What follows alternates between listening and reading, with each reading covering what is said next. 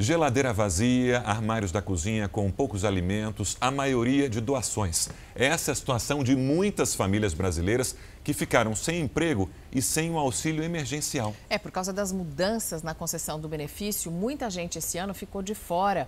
E com essas restrições, o auxílio agora vai ter bem menos impacto na redução da pobreza no Brasil.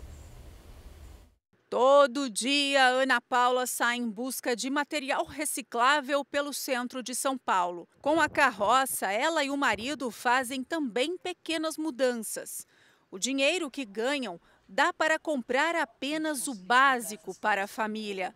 O casal tem dois filhos. Um dia a gente compra o arroz, no outro dia a gente compra a mistura, no outro a gente compra as coisinhas dos meninos e assim a gente está levando. Na geladeira, poucas coisas. O que tem no armário foi doação. E apesar das dificuldades financeiras, não preencheram os requisitos para receber o auxílio emergencial. O auxílio por si só já sofre uma certa discriminação. Na pandemia foi muito pior e veio decaindo cada vez mais os nossos serviços com tudo fechado. Iguais a Ana Paula e o Carlos Eduardo, Muitos brasileiros passam necessidade nesse momento. Hoje, são mais de 14 milhões de pessoas desempregadas no país.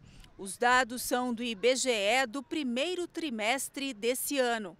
Em 2020, o auxílio emergencial ajudou mais de 68 milhões de pessoas a enfrentar a crise causada pela pandemia do coronavírus. Quando o auxílio expande, a pobreza caiu muito, caiu de 11% para 5% instantaneamente. E da mesma forma, quando o auxílio foi reduzido, a pobreza já subiu. Quando ele foi interrompido, a pobreza em seis meses ela foi triplicada. Saiu de 9,5 para 27 milhões de, de brasileiros.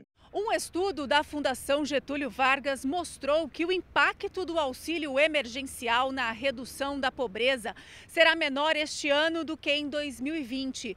Uma das justificativas é que muitos trabalhadores foram demitidos durante a pandemia. E essas pessoas que ficaram sem renda não tem direito ao benefício. Cerca de 10 milhões de pessoas perderam emprego, a renda do trabalho caiu 11%, da metade mais pobre caiu 18%, que é uma queda grande. E o problema é que o auxílio leva em conta uma fotografia específica das pessoas e essa fotografia mudou muito com a pandemia. Muita gente que perdeu o emprego é, é não foi considerada elegível no auxílio inicialmente e hoje em dia seria elegível. O auxílio emergencial só vai ser pago em 2021 para quem já estava cadastrado.